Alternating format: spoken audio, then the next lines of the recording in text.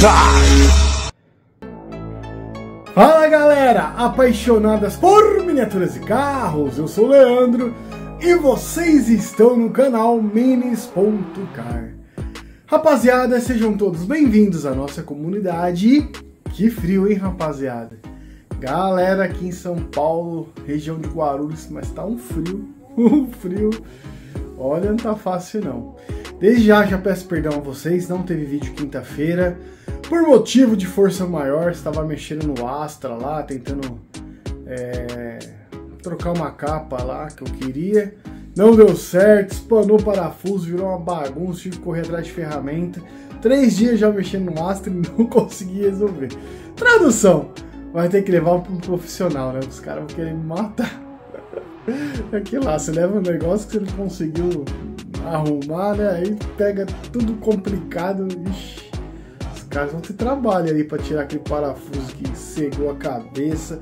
Olhei aí no YouTube e tentei com, com como é que chama? Com bexiga, com isso, com aquilo. Galera, nada funcionou. Parafuso não sai, daí parece colossou do parafuso. Infelizmente, depois vou ter que levar um profissional. Gastei dinheiro com. Como é que chama? Parafusadeira. Ixi, pode pôr uns 300 conto aí de dinheiro tentando providenciar algo que resolvesse nada. Era mais barato ter levado um profissional logo, né? Mas tá bom. Pelo menos ganhei uma parafusadeira. Já, né? já dá pra, pra resolver algumas coisas aí quando eu precisar. Não foi tão ruim assim. Bom, vamos lá.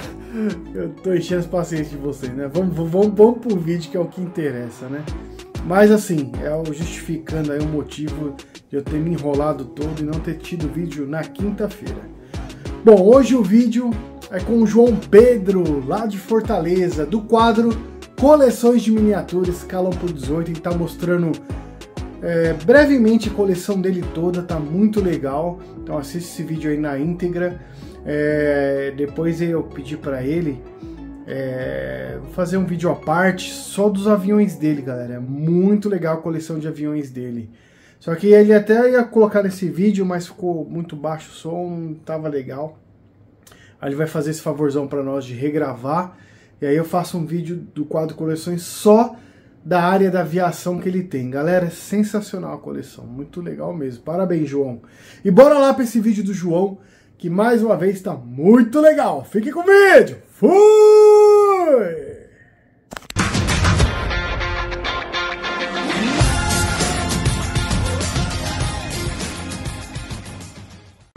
Muito bom dia a todos os colecionadores e apaixonados por carros.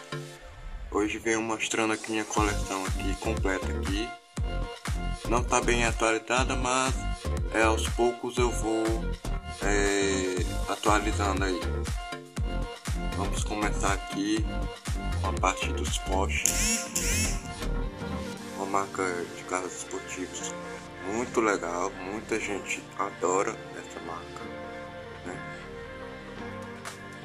Aqui embaixo temos as Lamborghini, duas Lamborghinis que eu acho bem da hora. Em breve eu vou tentar pegar mais modelos.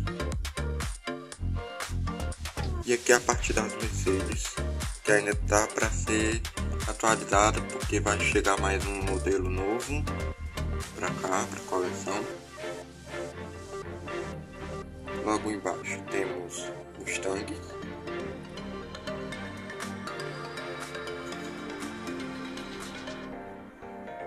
Ao lado já temos os Thunderbirds. Embaixo os dois Cadillacs, que no vídeo anterior eu fiz vídeo deles. E tem um Corvette, que ele era safety car e tirei os adesivos para fazer um carro de rua comum. E venho mostrando aqui o meu caminhão, escalão com 24, o modelo Peterbilt 359 modelo americano da Revel. A caixa dele ainda tá aqui, ó, embaixo aqui. Tá, tá virada.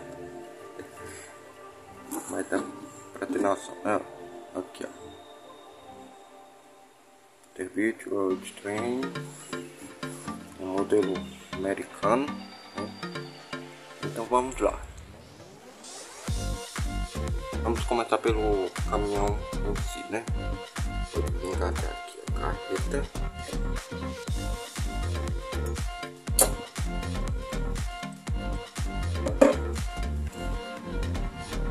Esse caminhão aqui, muitos podem pensar que é aquele caminhão bem antigo, assim, anos é, 70, 80, mas ele é do ano de 1985 para 86, certo? Esse caminhão, ele não é aquele caminhão como é os modernos de hoje, né, que é com motor V8, americanos é, é sabem como é que é. é eles exageram bastante mesmo no combustível, aí bota logo um motor V8 até nos caminhões. Esse aqui ele não é. Vamos lá, mostrar aqui para vocês.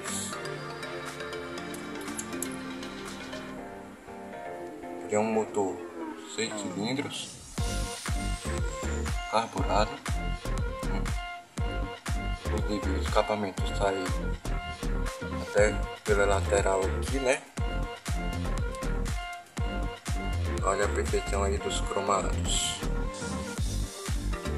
As rodas, pneu na frente, dois eixos atrás.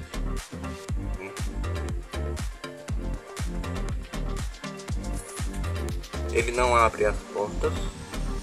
Né? Uma vez eu fui tentar abrir, aí acabei quebrando aqui o retrovisor. Tentei colar, mas não resolveu muito bem. Vou tentar virar ele aqui para vocês verem a frente.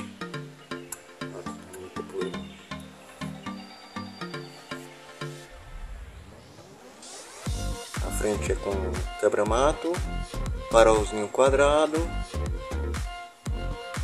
plaquinha americana da Califórnia.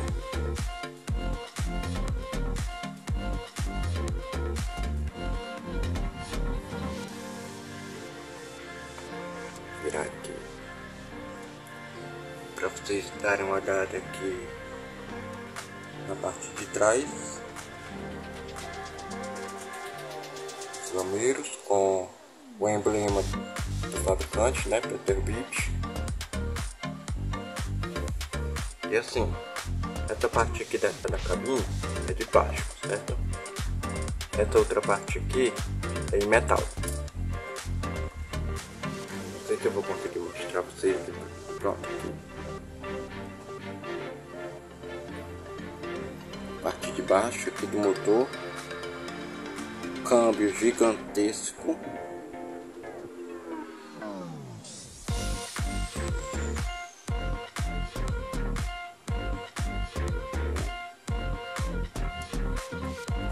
Geralmente na, na internet a gente encontra o cavalinho para vender, né? Mas também tenho a carreta original. Antes ela tinha um, um adesivo aqui americano, coisa assim, sabe? Aí eu arranquei e, muitos colegas meus do, dos grupos que colecionam miniaturas foram colocando adesivos é, para fazer propagandas, né? Essas coisas. Ele é aquele, como se fosse aquele caminhão solitário assim do grupo, né? É, pois é. Aí o pessoal fez isso aqui. É uma brincadeira à parte, né? A carreta ela é feita em MDF. A parte de baixo é de plástico O step já está bem comido pelos, pelos cupins que tinha. Tentei limpar, mas já era de tanto tempo. Ela abre a parte do baú aqui, ó. Já a carreta dá pra ver que os cromados já estão começando a apagar, mas o detalhe das lanternas ainda está demonstrado, né? Aqui. As portas traseiras do baú abrem. Cabe para botar um monte de coisa aqui. Cabe até um tanque de combustível aqui dentro. Daqueles da Shell assim pequenininho. Cabe aqui.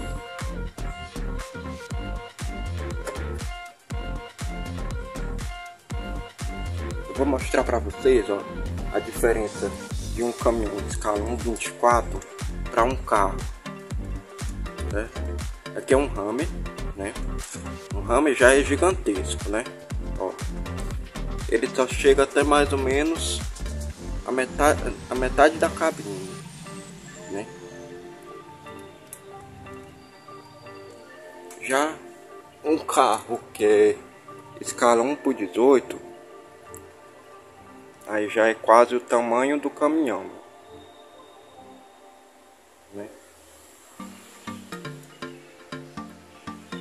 Pois é. Se a gente converter esse caminhão para escalão por 18, ele seria bem maior do que isso aqui, viu?